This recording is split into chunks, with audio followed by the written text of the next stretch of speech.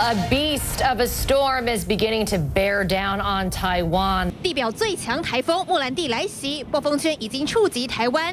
根据美国 CNN 报道，莫兰蒂是自1959年以来靠近台湾威力最强的台风，而且还在持续增强当中。If you take a look at this well-defined eye, it has not lost its strength. This is where the sinking air goes down. If you want to talk about the power in the uh, form of pressure, the lower the pressure, the stronger the storms. This pressure is actually lower than Haiyan.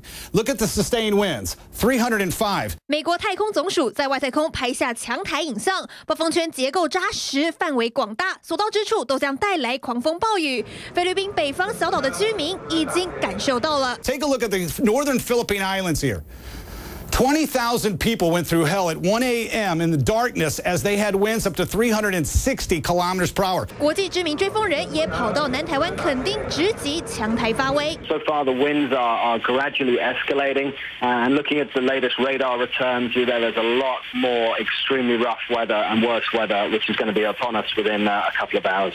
根据我国气象局路径分析，莫兰蒂速度减慢，目前以时速19公里朝西北西前进，暴风圈逐渐笼罩。到中南部提醒民众千万不要轻忽。记者综合报道。